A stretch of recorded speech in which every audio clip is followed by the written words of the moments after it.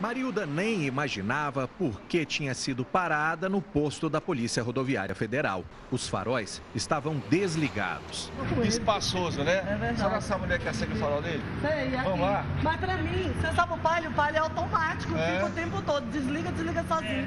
E esse aqui tem que ligar, e eu esqueço toda vida. Já pensou? já é duas vezes que eu saio com ele com o farol desligado. Até a noite eu saí Mas você não vai esquecer mais. Não, vou mais Ah. não. Eu errei, né? Porque só tem uma semana que eu peguei esse carro.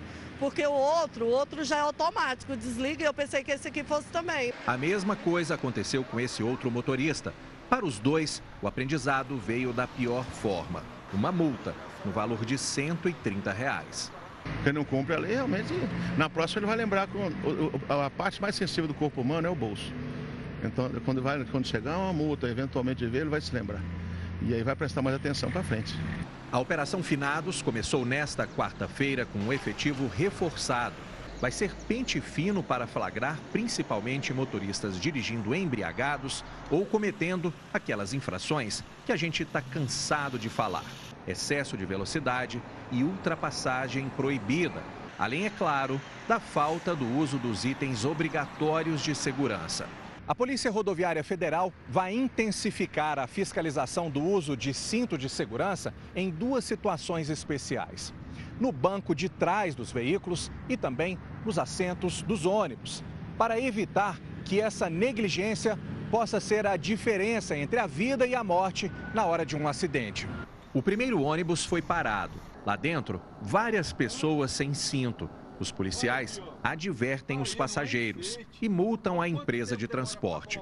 Vocês sabem quanto é que custa a multa do cinto? 200 reais. E essa multa aqui vai para o motorista. Aí eu pergunto, quem for multado é o motorista, não é o passageiro, né? Passageiro, tá certo. Mas se morrer por conta da falta do cinto, é o motorista que morre? Hã? É o passageiro.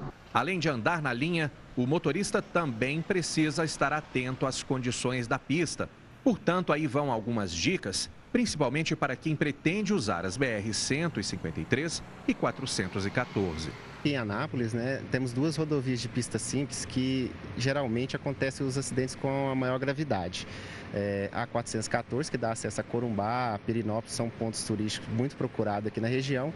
E a, a rodovia 153, que dá acesso ao norte do país, que está carente mesmo de sinalização e conservação. O que nós queremos é garantir a segurança daqueles que estão viajando. Às vezes, pelo erro de um, outros pagam por conta da infração que ele comete. Então, o que a gente quer é que todos possam ir e vir sem problemas.